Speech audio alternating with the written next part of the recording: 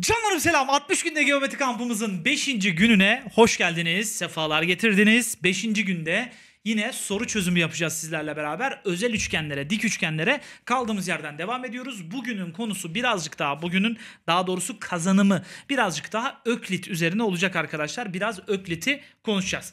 Hemen 60 günde geometri kampı video ders kitabımızı şöyle elime aldım. Çünkü soru çözümünden önce önce senin bugünün videolarını bir izlemen lazım. Ne izleyeceksin bunu be- beraber konuşalım gel. Şimdi benimle beraber hemen şu kamp programını bir aç bakalım. Şurayı kamp programını. Şimdi burada 5. gün dik üçgen 3 ve dik üçgen 4 yani 2 ders videosu izliyormuşsun. Karşılığında da 4 test ödev var. Test 3, test 4, test 5, test 6. O testlerde soru bankamızdan biliyorsun. Soru bankamızdan özel üçgenler kısmına geliyorsun. Test 3, test 4, test 5 ve test 6. 26. sayfadan başlıyorsun. 33. sayfanın son sorusuna kadar geliyorsun ve bitiriyorsun. Bunların çözümlerinin tamamı artı video ders kitabındaki videolarında videoları, videoların videoları kare kodların içerisinde mevcut. Ben de sana şimdi bu 4 testten seçtiğim soruları çözmeye çalışacağım. Elimden geldiğince ödevini bak geometri öğreniminde ödev de çok önemlidir. Dersi çok iyi dinlemek de çok önemlidir. Artı bu ödevde çözdüğünüz, ödev yaptığınız sorulardan seçtiğim soruları da sanki yıldızladığım soruların paraleli olarak düşünün. Hani yıldızladığım sorulara nasıl bir daha bakıyoruz? Aslında bunlar da benim yıldızladığım sorular arkadaşlar. Soru bankası için konuşabiliriz. O zaman 60 günde geometrinin 5. günü ne diyeceğiz? Özel üçgenler başlasın mı? Hadi gel. Şimdi ikinci soruyla başlıyorum. Yani özel üçgenler soru bankamızdan, ödevinizden özel üçgenler test 3 soru 2. Şimdi bakalım sorumuza. ABC dik üçgeninde x kaçtır diye soruyor. Şimdi arkadaşlar hemen Öklit'le ilgili bir konuşalım. Ben size hemen şurada bir Öklit'i hatırlatayım. Öklit neydi? Beraber üzerinden bir geçelim. Arkadaşlar dikten dik indiği zaman kullanılır. Öklit'in aslında iki tane temel durumu var. Birincisi şu. Buraya A, buraya B, buraya C, buraya H dersek birinci en önemli Öklit özelliği H kare eşittir B çarpı C. Bu bir. İkinci özellik A kare eşittir B çarpı tamamı. Yani A kare eşittir B çarpı B artı C. Hatta şuraya D yazacak olursak tersten de gidebilirsiniz. D kare eşittir kendisine yakın olan çarpı tamamı yani C çarpı B artı C. Al sana Öklit. 3 tane kuralla ve üçgenle al sana Öklit. Şimdi ne yapacağız? Bakalım bir neler yapabiliriz bir incelemeye çalışalım. Bak şimdi şunu yapabiliriz. Buraya A diyelim tamam mı? Şuraya A diyelim. Şimdi diklik vermiş. 4 kök 3 vermiş. Tamam. 4 kök 3 vermiş. 8 vermiş. Kaçtır diye soruyor. Ha. Şimdi şunu diyebiliriz bakın. 4 kök 3'ün karesi 4 kök 3'ün karesi eşittir. A çarpı tamamı yani A artı 8 olarak yazabiliriz. 4 kök 3'ün karesi 48. 48 eşittir A çarpı A artı 8. Şimdi şunu düşünün. Bir sayı var ve bu sayının 8 fazlası var. Bir sayının 8 fazlasıyla çarpımı 48 yapacak. O sayı kaçtır? 4'tür arkadaşlar. A yerine 4 verirsem 4 artı 8'den 12 yapar. 4 çarpı 12 de 48 yapar. Yani şurası 4'müş. Bana sorulan x. O zaman şimdi ters taraftan öklit yapalım. Yani şuranın karesi. x kare eşittir. Yakın olan 8 çarpı tamamı yani 12. Buradan arkadaşlar ne yapacaktır? X kare eşittir 96 yapacak. 96 demek de 4 çarpı e, kaç oluyor? 16 çarpı 6 mı? 16 çarpı 6. 16 da kök dışına 4 diye çıktığı için x eşittir 4 kök 6 olacak. Yani A şıkkını işaretleyeceğiz. E, güzel öğretici bir öklit sorusuydu ikinci soru. Geldim şimdi 5. soruya. Aşağıdaki şekilde birim karelerden oluşan zemin üzerinde ABC üçgeni çizilmiştir diyor. BAC açısı kaç derecedir? Bak B A bak bak bak bak seyret bak BAC. Yani şu aradaki açıyı soruyor. Arkadaşlar bakın birim kare diyor. Yani her bir kenar 1. O zaman 1, 2, 3, 4, 5, 6, 7, 8, 9 fazla mı saydım? Dur. 9, 10. Ha 10. Tamam. Şuraya bir birim diyelim. O zaman geri kalan şu kısmın şöylece tamamına 9 deriz. Bakın şurası da 3 birim. Şurası da 3 birim. Aslında orada şöyle bir üçgen var. Bak hemen sana gösteriyorum. Şöyle bir üçgen var. Şura 90. Şu 90'dan dikilmiş. Şura 1 olmuş. Bura 9 olmuş. Bura 3 olmuş. Aslında buradaki 90 yok. Bu 90'ı ben kendim yazdım ama bu 90'ı yazmasak bile buranın ökliti sağladığından dolayı bu köşedeki açının dik açı olması gerekir. Yani şurası 90 derece. O zaman açımız 90 derece olacak. Böyle alakasız bir yerde açı istediği zaman Pisagor'u veya Öklit'i sağlayıp sağlamadığına dikkat edin. Cevap hiç beklemediğiniz yerden bir anda çıkabilir arkadaşlar. Şimdi Yine test 3'teyiz. 6. sorudayız bu sefer. ABC dik üçgeninde AB 5 birim, AD 1 birim, BD açıortay x kaçtır diye soruyor. Şimdi açıortaylara hemen isim verelim. Buraya alfa diyelim. Şuraya alfa diyelim. Şuraya alfa diyelim. Tamam mı? O zaman ne yapalım? Şuraya da beta diyelim. Gel. Şuradaki açıya da beta diyelim. O zaman 2 alfa ile 1 beta'nın toplamı 90 derece. Bu bir. Bu birinci bilgi. 2 alfa artı 1 beta 90 derece. Peki arkadaşlar şu açı 90 derece olduğuna göre burası da 2 alfa ise buradaki açıya mecburen beta kalmalı ki 2 alfa artı beta 90 derece yapabilsin. O açımız betaymış. E şimdi şunu düşünmeniz gerekiyor arkadaşlar. Şurası alfa artı beta ise aynı şekilde şurasının da alfa artı beta olması lazım. Alfa artı beta. Neden? Bak alfa 90 buraya alfa artı beta gelecek ki alfa artı beta ile alfanın toplamı 2 alfa artı beta 90'a eşit olsun. O zaman bakın burada bir ikizkenar üçgen oluştu. Burası alfa artı beta buradaki açı. Buradaki açı da alfa artı beta. O zaman buradaki kenar x ise şuradaki kenarında x olması gerektiğini söyleyebiliriz. Şimdi büyük üçgene bakarsanız orada değişik bir büyük üçgen oluştu. Bir dik üçgen oluştu. Bak dik üçgene bak. Şurası 5 birim. Burası x artı 1 birim. Burası da arkadaşlar x birim. O zaman bu üçgenin özel üçgenlerden hangisi olduğunu söyleyebiliriz.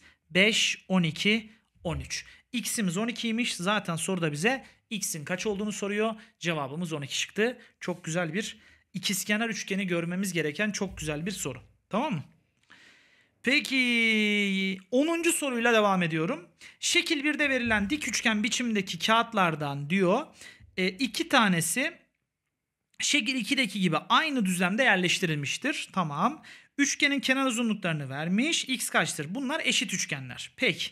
O zaman ne yapabiliriz? Şimdi buradaki açıya alfa diyelim. Buradaki açıya beta diyelim arkadaşlar. Tamam mı?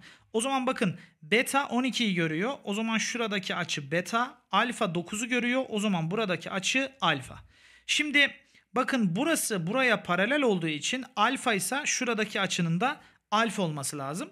Şimdi burası 90 sa burası da alfa ise o zaman şu açının şöylece tamamının ne olması lazım? Beta. Arkadaşlar üçgenlerde aynı açıların gördüğü kenarlar orantılıdır. Yani bu üçgende alfa, soldaki üçgende alfa 9'u görüyor bölü. Sağdaki üçgende alfa e, kaçı görüyor? 9'u görüyor.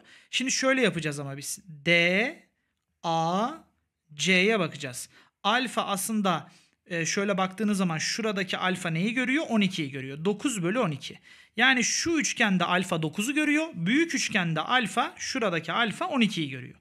Eşittir diyeceğim. Küçük üçgende beta 12'yi görüyor bölü büyük üçgende şuradaki beta x artı 9'u görüyor. Buradan arkadaşlar biz gönül rahatlığıyla x'in kaç olduğunu bulabiliriz. Zaten soruda bize x'in kaç olduğunu soruyor.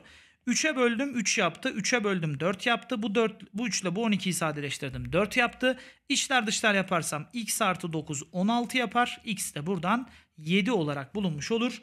Doğru cevabımız A şıkkı çıkacak 10. soruda. Test 3 10. soru güzel bir soruydu. Bence sınav adayı bir soru. Bununla beraber test 3'ü bitiriyoruz ve test 4'e geçiyoruz. Şimdi test 4'te 3. soruyu seçtim size arkadaşlar. Güzel bir soru. Böyle dikdörtgene tamamlamalı bir soru. Diyor ki şekilde verilenlere göre BD yani x kaçtır diye soruyor. Şimdi hemen şurayı dikdörtgene tamamlamaya bir çalışalım bakalım. Tamamlayabileceğiz mi? Şimdi şöyle yani sanki paralelliği sağladık gibi. Hani çok da tam böyle bu şekiller bağlanmıyor ama bağladık gibi gözüküyor. Şurası 90 derece. X uzunluğumuz var. Şimdi şu uzunluğa y diyelim. O zaman buradaki uzunluk da y olur. Tamam mı? Şimdi bakın Burası y ise şuranın tamamı da y olmalı. E 4 ise buraya y eksi 4 kalır. Şurası y eksi 4. 8 ise de burası 8 olur. Bakın şurada bir üçgen oluştu. Hemen o üçgeni şu kenara doğru taşıyayım ben. Orada güzel bir dik üçgen oluştu. Şöyle uzatalım şöyle. Şura 90, şura 8, şura y eksi 4, şurada y. 6, 8, 10 oluştu bakın. Y'ye 10 verirseniz 10 eksi 4'ten 6, 6, 8, 10. Yani ben y'nin 10 olduğunu buldum. Şurası 10'muş. Ee, şurası kaç? Şimdi biz x'i arıyoruz ya arkadaşlar. Bakın burası 8. Şuradaki uzunluğa bakarsak bu uzunluğun tamamı y yani 10. O zaman burada Pisagor yaparsak x kare eşittir. 10'un karesi 100 artı 8'in karesi 64. Buradan x kare eşittir 164. Buradan da x eşittir kök 164. E 164'ü 41 çarpı 4 diye düşünürsek 4 kök dışına 2 diye çıkar. Cevabımız 2 kök 41 olarak bulunur. Yani C şıkkını işaretleriz. Kaçıncı soru? Test 4 5. soruda. Tamam mı canlarım? Peki devam ediyorum dördüncü soruyla. Test 4 soru 4. Şimdi diyor ki şekilde diklikler verilmiş. BD kaçtır? Hmm. Şimdi AD eşit DC eşit 5. Şimdi AD DC'ye eşit o da 5'e eşit. Hmm.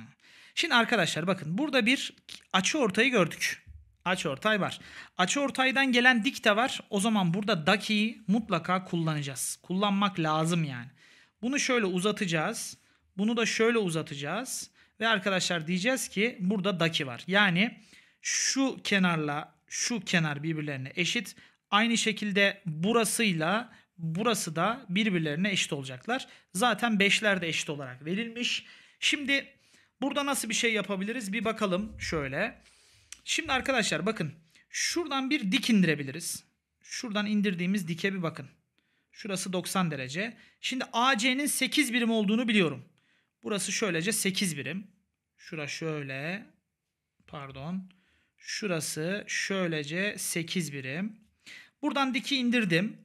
Şimdi gördüğünüz gibi burası iki eşit parçaya bölmüş. O zaman 8 ise buranın 4 olması, bura zaten 5 ise şuranın şöyle hatta 3 çizgi göstereyim. Buranın da 5 olması lazım.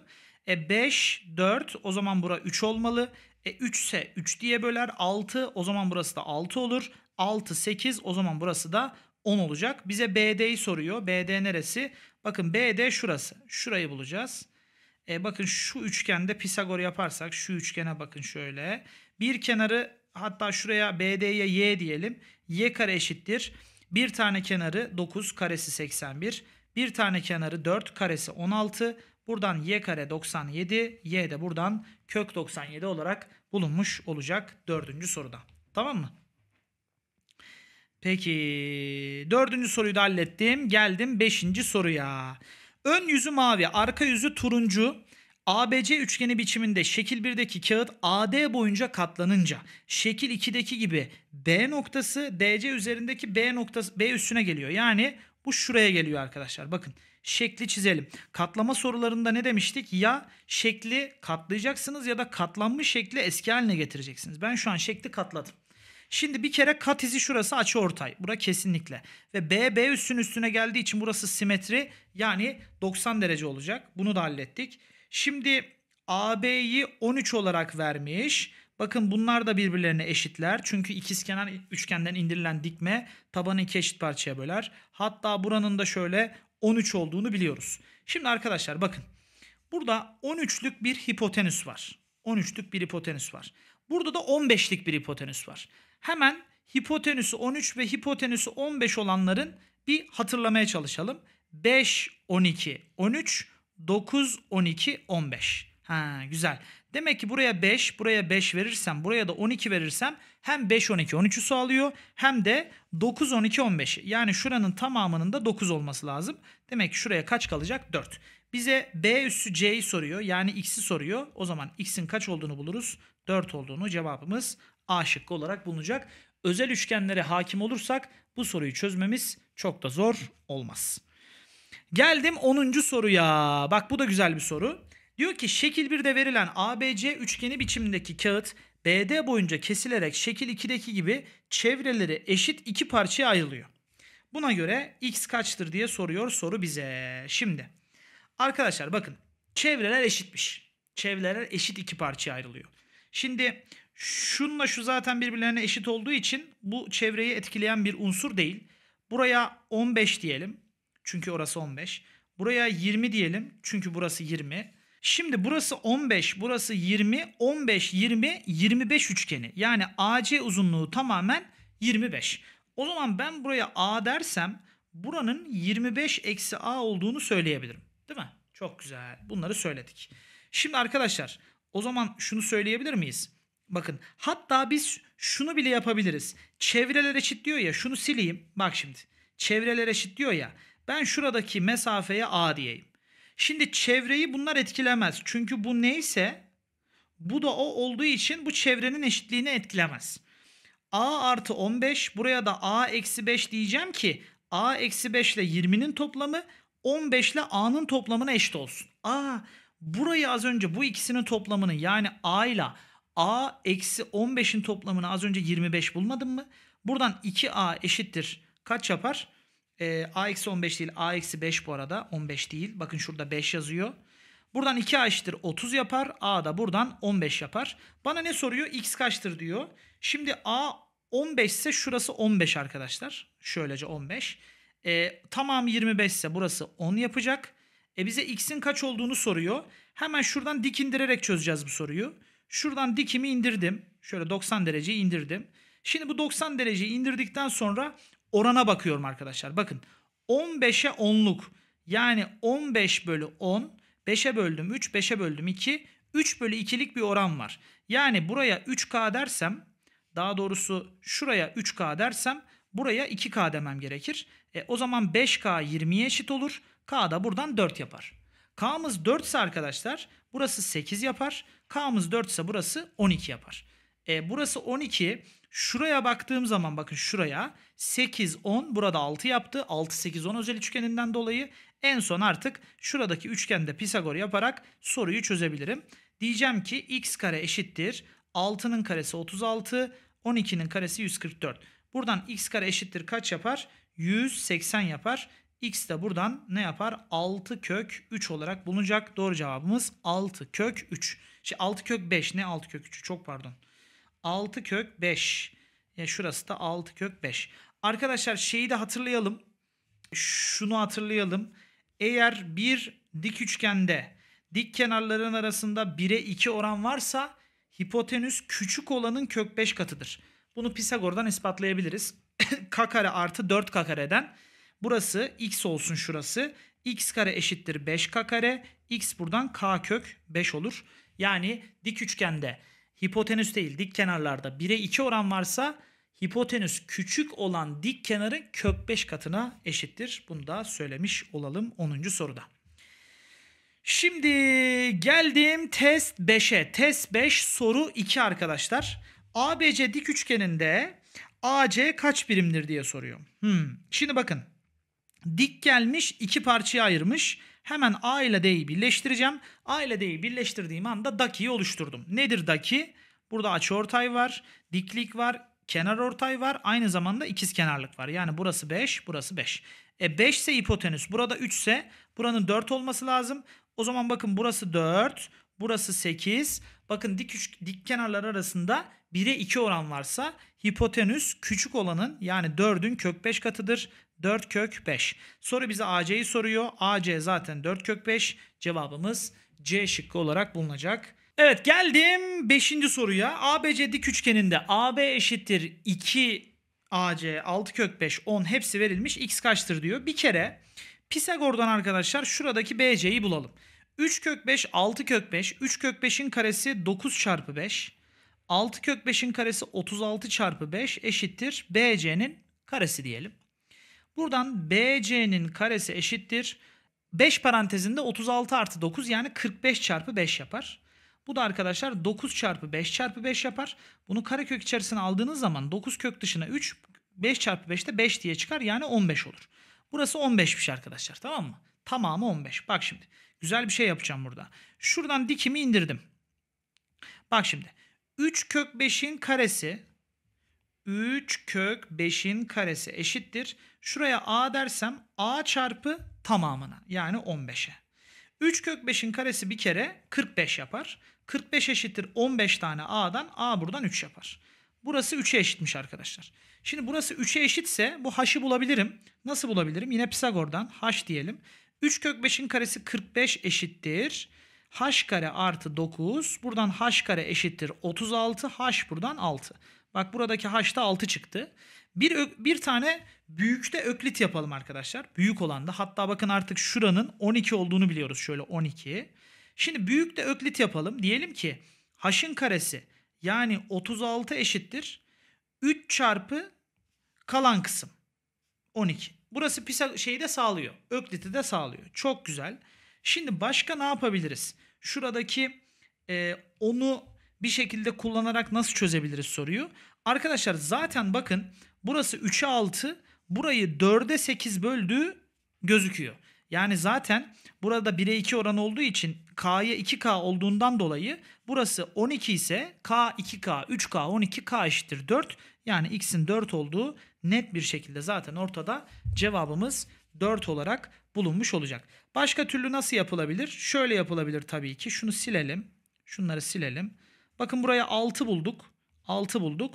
90'ın karşısı 10 sa 6 buranın 8 olduğunu söyleriz. E buranın tamamının 12 olduğunu biliyoruz. Burası 8 ise buraya kaç kalır? 4. X yine 4 olur. İki türlü de Pisagor'dan da orandan da bulabilirsiniz. Beşinci sorunun cevabı 4 olarak bulunmuş olacak. Evet geldim 6. soruya. Bir ABC üçgeninde AB BC'ye diktir. BC üzerinde bir D noktası alınıp AD çiziliyor falan fıstık. Şimdi üçgeni çizeceğiz. Mecburuz. Mecburen çizeceğiz yani üçgeni. Hem de o bildiğiniz üçgenlere benzemez. Bu bir dik üçgen olacakmış arkadaşlar. 90 A B C. Şimdi diyor ki diyor ki bir D noktası al diyor. Neresi üzerinde? BC üzerinde. Peki BC üzerinde bir D noktası aldım. Sonra diyor AD'yi çiz. Tamam sonra AD'yi çizdim. Sonra diyor ki BD'ye KD, CD'ye 2KD. O da tamam. Sonra diyor ki BC üzerinde BAD açısına da alfa de. Bu açı da alfa. ACB açısı şu açıya da alfa de. O da güzel. E buradan sonra ne diyor? AC kaçtır diye soruyor bize. Peki. Şimdi burada nasıl bir şey yapabiliriz? Beraber bir bakalım. Şimdi arkadaşlar bir kere bir kere AB'nin 6 birim olduğunu biliyoruz. Tamam mı? Şimdi bak. Üçgende yine aynı açıların gördüğü kenarlar orantılıdır mantığından alfanın karşısında büyük üçgende 6 var. Ya da şöyle yapalım. Küçük üçgende alfanın karşısında k var.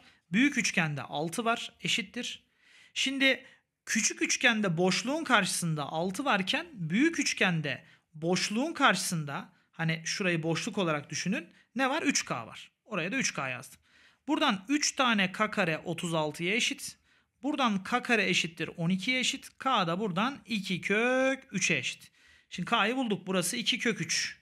E o zaman burası da 4 kök 3. Tamamı 6 kök 3. AC'yi soruyor. Pisagor'dan mevzuyu çözeceğiz. Buraya x diyelim ve Pisagor yapmaya başlayalım. x kare eşittir 6'nın karesi 36. 6 kök 3'ün karesi 108. Buradan x kare eşittir 144'ten x eşittir 12 olarak bulunacak. Ee, cevabımız A şıkkı. Bir anda şıklarda yok zannettim. Aşırı şekilde korktum arkadaşlar. 6'yı da böylece halletmiş olduk. Geldik 11. soruya. Şimdi 11 diyor ki dik kenar uzunlukları sırasıyla 5 ve 10 birim olan ABC dik üçgeni B köşesi etrafında saat yönünde A köşesi AC üzerindeki A üssüne gelene kadar döndürülüyor. Ha yani yani arkadaşlar şu kırmızıyla çizdiğimiz şu AB var ya bu buraya gelene kadar döndürülüyor. O zaman bununla bu eşit bak. Bu uzunlukla bu uzunluğun eşit olması lazım. Döndürme yapılıyoruz. Döndürmede boyut değişmez ki. Yani şurası 5 ise aynı şekilde burası da 5 olur. Şimdi hemen şuradan dikimizi indirelim. Affetmeyelim. Şimdi ikizkenar üçgenden indirilen dikme tabanı iki eşit parçaya böler. Bu bir. İkincisi. Şimdi şurası arkadaşlar bakın tam dönme merkezinde olduğu için şuranın şöylece açıortay olduğunu söyleyebilirim. Aynı açıortaylık diğer tarafta da var. Hatta burada da bir ikizkenarlık var şu şekilde. E peki çok güzel bunları da yazdık. Şimdi dikten dik gelme durumumuz var. Orayı kullanabiliriz belki. Hatta biz isterseniz şöyle yapalım. Buraya P diyelim arkadaşlar. Buraya P diyelim. Buranın tamamı 5 kök 5'tir. Nereden biliyorsunuz hocam? 5, 10, 5 kök 5. 5 kök 5. O zaman 5'in karesi eşittir. Öklit yapıyorum. P çarpı tamamı. Yani P çarpı 5 kök 5. 5'lerin biri birini götürür. P eşittir. Ne olur? 5 burası kök 2 değil kök 5. 5 bölü kök 5 yani 5 kök 5 bölü 5'ten kök 5. Şimdi P'miz kök 5'miş. Yani şurası kök 5. E baba o zaman burası da kök 5. 2 kök 5 o zaman buradaki x'e kaç kalır? 3 kök 5. Doğru cevabımız D şıkkı olarak bulunacaktır. Bence yine güzel bir soru. Tatlı bir soru yani. Peki test 6'ya geldik. Bugünün son ödev testi. Test 6 soru 3'ü beraber bir konuşalım bakalım. A, B, X kaç birimdir diye soruyor. Hemen eşitlikleri koyalım. Buraya A diyelim. Buraya A diyelim. Aynı şekilde buraya A diyelim. Tamam mı?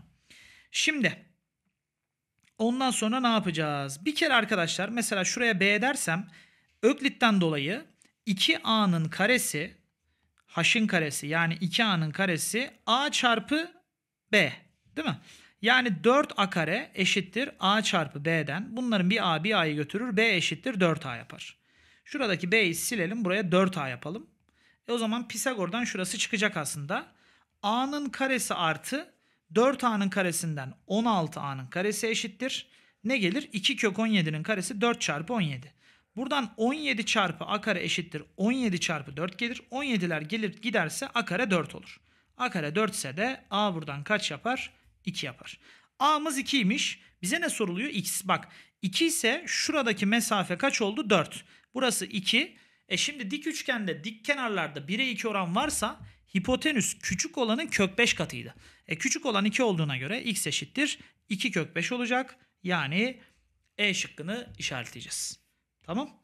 Üçüncü sorumuzun cevabı da E seçeneği olacaktır. Şimdi test 6 soru 5'e geldik. Diyor ki arkadaşlar bize şekil 1'de ön yüzü turuncu arka yüzü yeşil ABC'de dikdörtgen biçimdeki kağıt BD köşegeni boyunca katlanınca C köşesi C üstüne geliyor. Hemen biz katlanan şekli geri açalım. Burada şekli katlamak biraz meşakkatli. Katlananı şöyle geri açmak daha mantıklı gibi duruyor sanki. Peki 12 birim olarak verilmiş. Bak bura 12. O zaman burada 12 olur. Tamam. Burası 12 kök 3. Burası 90. Bakın 12 12 kök 3. O zaman burada çok güzel bir 60 30 90 üçgeni var. Hemen o üçgeni hatırlatayım şurada size. Şöyle yapalım. 90 60 30. Eğer buraya A dersem bura 2A, bura A kök 3. 30 69 30 60 90 üçgeninde 30'un karşısı neyse 60 90'ın karşısı 30'un karşısının 2 katı 60'ın karşısı da 30'un karşısının kök 3 katı. Yani 90 60 30 üçgeninde her şey 30'un karşısına göre belirleniyor. Tamam mı? 30'un karşısı 12 ise 90'ın karşısı şurası 24 60'ın karşısı da 90, 30'un karşısı olan 12'nin kök 3 katı yani 12 kök 3. E katlama olduğu için burası açıortay burada 30. Buranın tamamı 90 olduğu için aha burada 30. O zaman burası yapar size 60. Tamam mı? Şimdi şuraya bakın. 60'ın karşısı 12 ise 30'un karşısına eğer siz A derseniz A'nın kök 3 katı 12'ye eşit. O zaman A buradan 12 bölü kök 3 yapar. Kök 3 ile genişletirsem 12 kök 3 bölü 3 yapar. Bunlar da sadeleşirse 4 kök 3 yapar. Şimdi e, A dediğimiz şey 4 kök 3'müş. Şurası 4 kök 3. O zaman 90 da 30'un karşısının 2 katı olduğu için burası da 8 kök 3 yaptı. Bayağı bir şey bulduk şu anda. Ha. 8 kök 3. Şimdi e, arkadaşlar şuraya dikkat edin bakın katlamadan dolayı şuradaki kenar buradaki kenara eşit. Çünkü bunu buraya doğru katlıyoruz. Bunlar eşit. E 12 kök 3. Burada 12 kök 3 olacak. E 8 kök 3 ise buraya kaç kalıyor? 4 kök 3 kalıyor. E burası da 120 derece oluyor arkadaşlar. Şimdi başka bir kural göstereyim size. 30 30 120 üçgeni. Hemen çiziyorum şöyle. Hemen çiziyorum. Bura 30, bura 30, bura 120. 30 30 120 üçgeninde A A A kök 3 kuralı var. İstiyorsanız dik indirerek de görebilirsiniz. İspatını ben derste yaptım. Dolayısıyla eğer 120 30 30 120'de bir kenar 4 kök 3 ise o zaman 120'nin karşısı 4 kök 3'ün kök 3 katından 12'ye eşit olacak. Yani x'imiz 12 olarak bulunmuş olacak. Cevabımız E şıkkı. Ee, bayağı güzel bir soru yalnız bu. Çok iyi bir soru. Yani hem özel üçgen hem 90 60 30 hem 30-30-120 hem ee, şey var Pisagor var hem Öklit var yani var ki var yani özel üçgeninden tut her şeyine kadar var. Çok güzel bir soruydu. Ve arkadaşlar 10. soruyla beraber bugünün videosunu ve 5. günün ödevlerini bitirmiş oluyorsunuz. Şekil 1'de verilen aynı açı değerlerine sahip iki dik üçgen şekil 2'deki gibi aynı düzlemde çizilebilmektedir. Küçük üçgenin hipotenüsü 10 birim, büyük üçgenin dik kenarı 12 birimdir. Küçük üçgenin hipotenüsü 10 birimmiş. Ha, peki. Yani şurası 10'muş arkadaşlar. Tamam, güzel. Peki o zaman ne soruyorsun bana? Büyük üçgenin hipotenüsünü soruyorsun. Ha. Yani şurayı soruyor arkadaşlar bana. Şu yeşille çizdiğim uzunluk var ya. Bunun ne olduğunu soruyor. Şimdi buraya beta diyelim.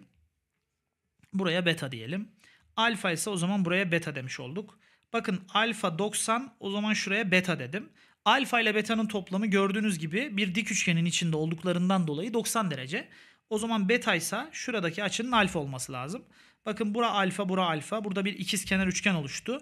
Aynı zamanda 90 alfa, burada beta, burada da bir ikizkenar üçgen oluştu. Şimdi bakın bu kenarla bu kenar eşit. Bu kenarla da bu kenar eşit. Aha muhteşem üçlü var bak. Dikten gelmiş zaten 3 tane eş parçaya ayırmış. Zaten muhteşem üçlü olduğu da görülüyor. Bakın buranın hipotenüsün 10 olduğunu söylemişti bize bak. Şuranın 10 olduğunu söylemişti. O zaman buraya 5 yazdım. Aynı şekilde buraya da 5 yazdım. O zaman buraya da 5 yazdım. O zaman bura 12 birimse, burası 5 birimse, burada 90 derece ise 5, 12, 13'ten dolayı büyük üçgenin hipotenüsü 13 birim olacak. Doğru cevabımız da A şıkkı olarak bulunmuş olacaktır canlar. Evet bu soruyla beraber arkadaşlar 5. günü de noktalamış bulunuyoruz. Bence çok güzel bir dersti. Çok sağlam, çok iyi sorular çözdük. Çok e, size fazla şey katacağını düşündüğüm sorular çözdük. Şimdi gelelim şöyle kamp programımıza. Gel şimdi. Dördüncü günde tiklerimizi atmıştık. Beşinci güne gelelim. Dik üçgen 3'ü hallettik. Dik üçgen 4'ü hallettik ve 4 test ödevimizi de hallettik. Şimdi dik üçgen yani özel üçgenlerle alakalı 6. günde tek bir video izleyeceksiniz. Ama gördüğünüz gibi yine 5. gündeki gibi 4 test ödeviniz olacak. Ve yarın 6. günde dik üçgenin sonuna gelmiş olacağız. 7. günden itibaren ikizkenar, eşkenar, açıortay, kenarortay, yükseklik diye üçgen temel elemanları ve özellikleriyle kaldığımız yerden devam edeceğiz. Hepinizi seviyorum. Kendinize iyi bakın. 6. günde görüşmek üzere. Hoşçakalın.